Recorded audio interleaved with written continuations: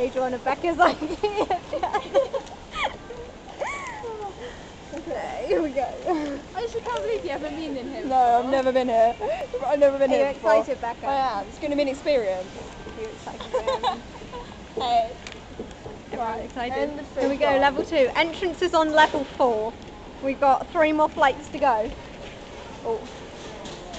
We don't want to take. Uh, oh, okay, we are taking the ramp. Go.